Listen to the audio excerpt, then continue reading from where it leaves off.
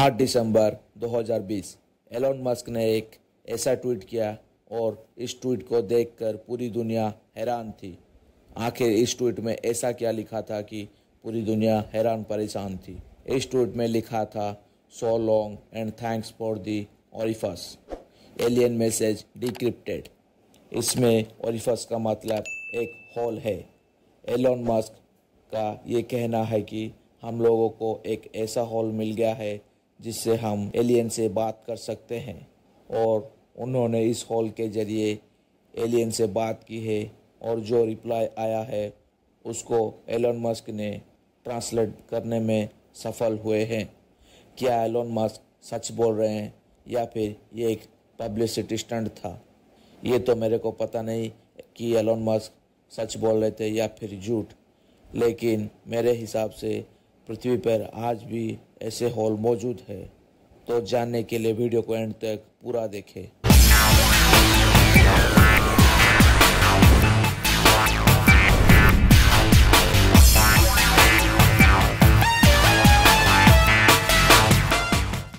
America के Washington में एक एलन्सबर्ग के शहर में एक बंदा था, जिसका नाम था मेल वाटर्स।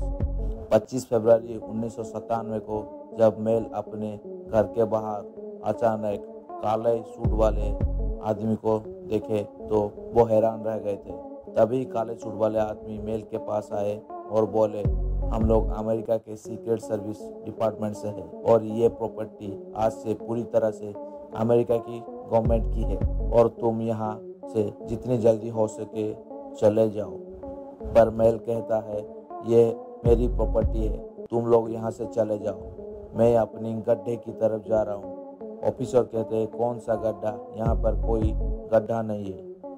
हमारा एक प्लेन यहाँ पर क्रैश हुआ और हम लोग उसकी जाँच कर रहे हैं। और ये गवर्नमेंट की प्रॉपर्टी है, तुम यहाँ पर रह नहीं सकते हो। और जिस काल्पनिक गड्ढे के बारे में तुम बात कर रहे हो, वो गड्ढा यहाँ पर नहीं है। और जितनी जल्दी हो सके तुम ये बातें भूल जाओ। पर मेल को अभी तक ये समझ आ गया था कि वो ऑफिसर प्रॉपर्टी के लिए नहीं, बल्कि उस गड्ढे के लिए आए हैं। लेकिन मेल ने ये ऑफिसर को बोला कि मैं यहाँ से नहीं जाऊँगा। फिर ऑफिसर ने बोले कि अगर तुम यहाँ से नहीं गए तो तुम्हारे ऊपर झूठा मुकदमा लगाकर तुमको जेल में डाल देंगे। और किसी भी तरह से वो ऑफिसर मेल को उस गड्ढे से दूर रखना चाहते थे।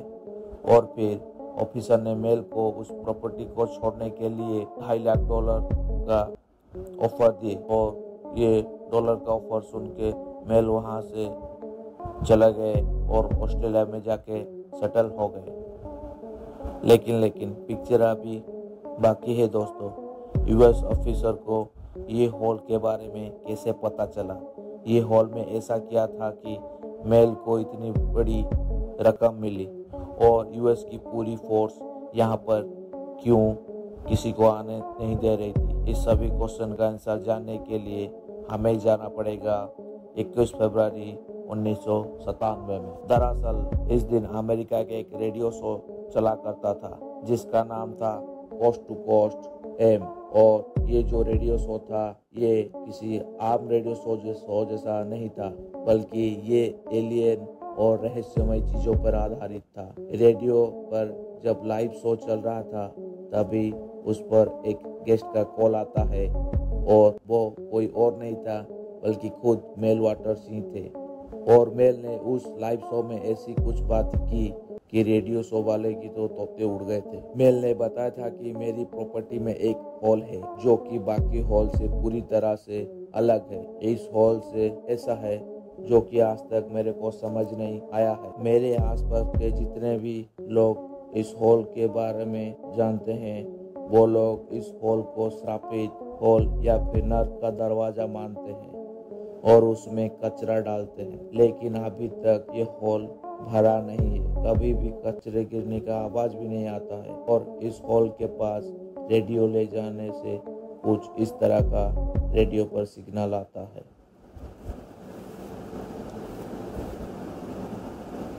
मेल ने और भी बोला था कि एक साल पहले मेरे एक पड़ोसी का कुत्ता मर गया था और उस कुत्ते की बॉडी को इस हॉल में फेंक दिया गया था। लेकिन उसके अगले दिन वो कुत्ता जीवित होकर अपने मालिक के पास पहुँच गया था और उससे भी हैरान करने वाली बात यह थी कि वो कुत्ता सिर्फ़ एक दिन के बाद ही रहस्यमय तरीके से गायब भी हो गया था। यहाँ के लोग इस हॉल को सापित मानते थे और कई कई लोग ये बोलते थे कि इस गड्ढे से रात में एक बीम निकलती थी, जो एक अनजान तारे की तरफ़ इशारा करती थी। इस हॉल के पास कोई इंसान तो नहीं जाता था?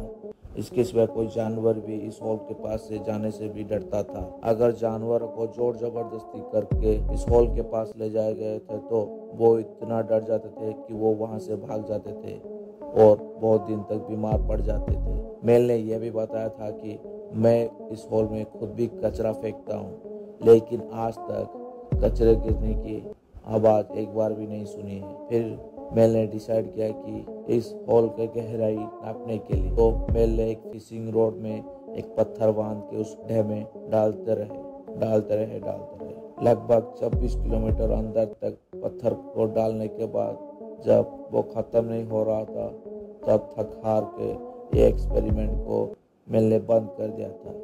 लेकिन दोस्तों, एक बात बता दूँ, दुनिया के सबसे बड़ी ऑफिशियल हॉल कोलावरम सुपर डीप बोर हॉल जिसकी गहराई लगभग 12 किलोमीटर है। लेकिन मेल के हिसाब से ये हॉल 24 किलोमीटर से भी ज़्यादा का था। क्या यह कोई ब्लैक होल था या फिर कोई दूसरी दुनिया में जाने का दरवाज़ा था? मेल के इस इंटरव्यू के बाद अमेरिका में जैसी जंग सी छिड़ गई थी।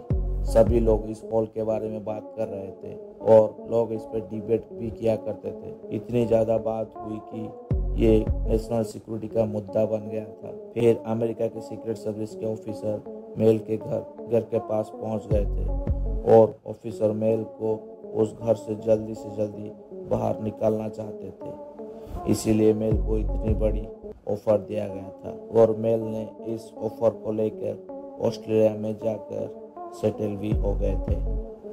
फिर आता है कहानी में एक और ट्विस्ट ट्विस्ट ये है कि दोस्तों, लगभग दो साल बाद मेल को अपनी पुराने वाली प्रॉपर्टी का याद आया। तो इसे देखने के लिए वो सन 2000 में अमेरिका वापस आ गया। लेकिन मेल को ये थोड़ी ना पता था कि आगे क्या होगा। तो मेल ने अपने घर जाने के लिए बस पकड़ी और घर पहुँचने से पहले ही बस में बेहोश हो गया। जब मेल की आँखें खोली तो वो अपने आप को एक यूएसए की मिलिट्री हॉस्पिटल में पाया और लगभग बारह दिन बीत गए थे। और मेल ने जब अपने आप को देखा तो उसके शरीर पर बहुत सारे गहरे घाव के निशान थे जो कि पीटने के थे। और इसी हालत में उसी हॉस्पिटल में कुछ दिन रहने के बाद महल को फिर से बेहोशी की हालत में सैन फ्रांसिस्को के रोड पे फेंक दिया गया था। और यहाँ से किसी तरह से वो अपने हॉल वाले प्रॉपर्टी के पास पहुँचा और अपने प्रॉपर्टी को देखकर पूरी तरह से शौक हो गया था। उसकी प्रॉपर्टी जैसे कोई मिलिट्री अड्डा जैसा बन गया था और वहाँ पर बहुत सख्त सिक्योरिटी था, जैसे कोई यूएसए की सीक्रेट बेस था और ये देखकर मेल वहाँ से चला गया और फिर अप्रैल 2000 में फिर से मेल ने coast to coast AM radio show को दोबारा से कांटेक्ट किया और बोला कि मेरी जो हॉल वाली प्रॉपर्टी थी, उसको गवर्नमेंट ने कब्जा कर लिया है। वो लोग मुझे वहाँ घुसने नहीं दे रहे हैं, लेकिन मैंने उस हॉल जैसा एक और हॉल ढूंढ लिया है, जिसकी सूचना अभी तक सरकार के पास नहीं है। जिसके बाद मेल और कोस्ट टू कोस्ट के होस्ट ने उस हॉल के पास पहुंचकर कुछ एक्सपेरिमेंट किए थे।